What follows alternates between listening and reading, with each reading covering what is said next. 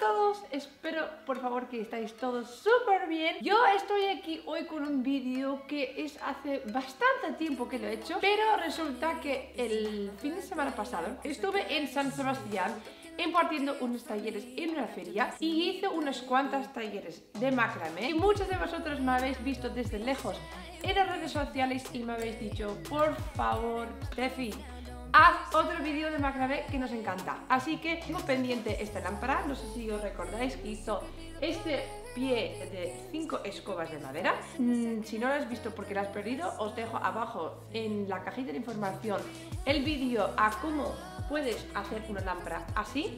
Si no me conoces todavía, yo soy Steffi y muy bienvenidos a mi canal. Em, te invito a que te suscribes porque así no pierdes ningún vídeo mío. Suscribirse gratis y activar la campanita también para que te llegue una notificación cuando subo un vídeo. Y si te apetece verme cada día, pues únete a la comunidad de mis amores y sígueme en mis redes sociales porque ahí estoy todos los días. Muchísimas veces me habéis visto haciendo proyectos de macramé utilizando trapillo. En este vez también lo voy a utilizar. Si prefieres cuerda, puedes seguir el mismo patrón, pero con cuerda. Ya dicho suficiente, no se te tengo más. Vamos a empezar.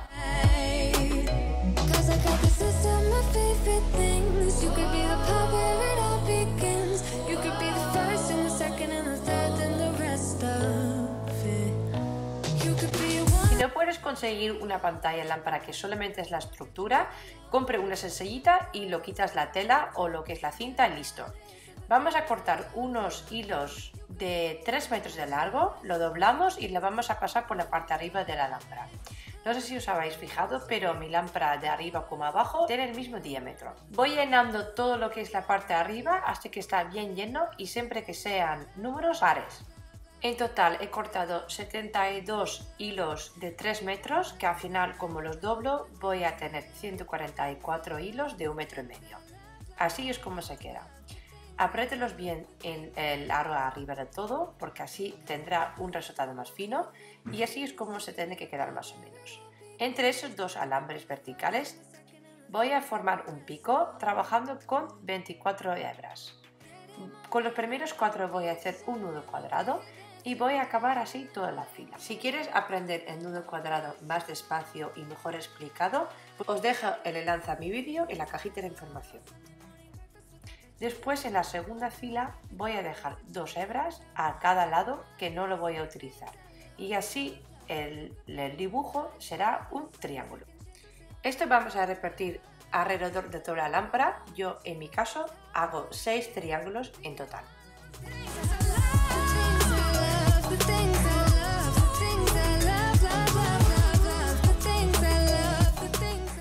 Ahora vamos a hacer una línea diagonal pero tenemos que cruzar los dos hebras que tenemos arriba de todo porque si no lo hacemos entonces es como los nudos se separan en la segunda fila.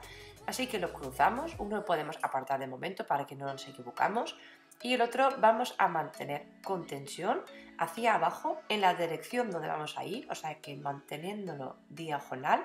Y luego cada hilo que tenemos ahí colgando de los nudos anteriores vamos a hacer doble nudo alrededor de este hilo. Y eso también lo repetimos al otro lado. Cogemos la hebra que antes apartamos, lo pasamos por la parte de atrás y ahora lo mantenemos diagonal hacia la izquierda y entonces cada hebra vamos a hacer dos nudos alrededor. Primero uno y pasamos un nudo más y listo. Y ahora seguimos cogiendo el siguiente hilo hasta que llegamos abajo de todo. Y así es como se queda haciendo este paso. Aquí en el centro vamos a hacer un nudo cuadrado, es exactamente el mismo nudo que hemos hecho antes. Inténtelo lo colocarlo exactamente en el centro de estos dos triángulos.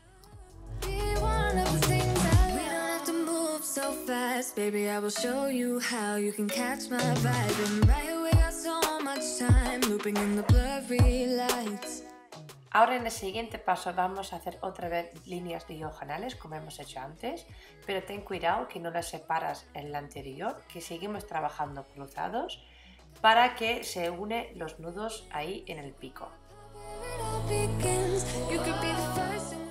Tenemos que seguir trabajando hacia abajo hasta que llegas a utilizar la mitad de las hebras con cual hiciste el nudo cuadrado en el centro. Y en la otra línea diagonal hacemos exactamente lo mismo.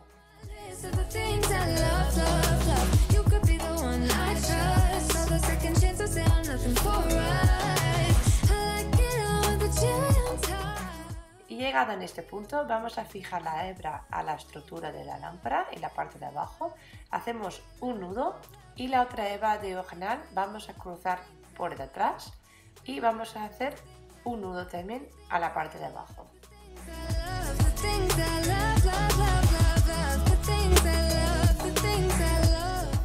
Ahora se quedará bien fijado, no se separará esas dos partes del patrón. Ahora tenemos que hacer un nudo con cada hilo alrededor de la estructura de la lámpara. Notas además también que haciendo este nudo el patrón quedará menos suelto y todo está como súper tenso entre el aro arriba y abajo y queda más rígido y más bonito.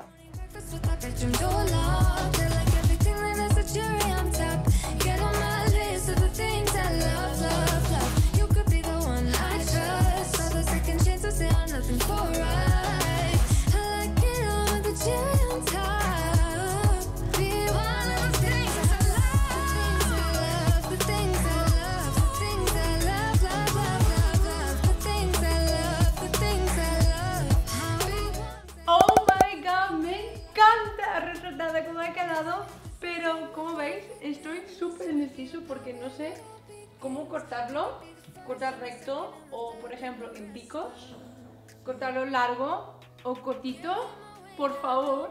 Necesito vuestra ayuda, por favor deja en los comentarios aquí abajo lo que tú piensas en pico, recto, corto o largo. Qué lío, pero bueno, ya me entendéis. Y como hemos llegado al final de este vídeo, te decides que quieres quedarte, pues suscríbete y formas parte de esta familia de mis amores y no pierdas ningún vídeo mío si también apretas la campanita para que te llegue un mensaje cuando subo un vídeo y así tú y yo nos vemos en el siguiente tutorial. ¡Adiós!